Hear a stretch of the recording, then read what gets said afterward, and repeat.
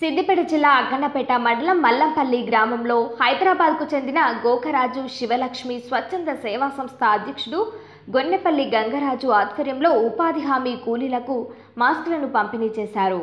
అదేవిధంగా గ్రామంలో కరోనాతో బాధపడుతున్న వారికి ట్రే గుడ్లను పంపిణీ చేశారు.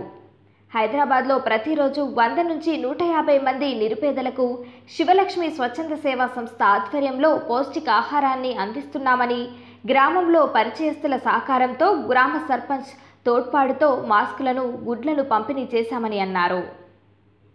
ఈ కార్యక్రమంలో గ్రామ సర్పంచ్ మర్క తిరుపతి సేవా సంస్థ సభ్యులు బోయిన శ్రీను పిట్టల సతీష్ తదితరులు పాల్గొన్నారు. హైదరాబాద్లో ఇటీవల మరణించిన గోకరాజు శివరామరాజు గారి జ్ఞాపకార్థం శివలక్ష్మి ఫౌండేషన్ ఏర్పాటు చేయడం జరిగింది. దాని ఆధ్వర్యంలో హైదరాబాద్లో దాదాపుగా రోజు వంద నుంచి నూట యాభై మందికి పౌష్టికరమైనటువంటి ఆహారాన్ని ఎవరైతే ఆ, ఆహారం పొందలేని స్థితిలో ఉన్నారో దీనులకు అందజేయడం జరుగుతూ ఉన్నది.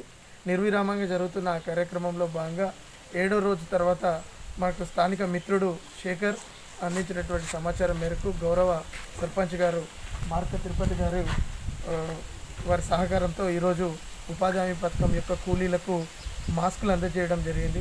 అదేవిధంగా మల్లంపల్లి గ్రామంలో కోవిడ్తో బాధపడుతున్నటువంటి కుటుంబాలు ఏవైతే ఉన్నాయో బాధిత కుటుంబాలకు ఎగ్ ట్రేలను కూడా అందజేయడం జరిగింది.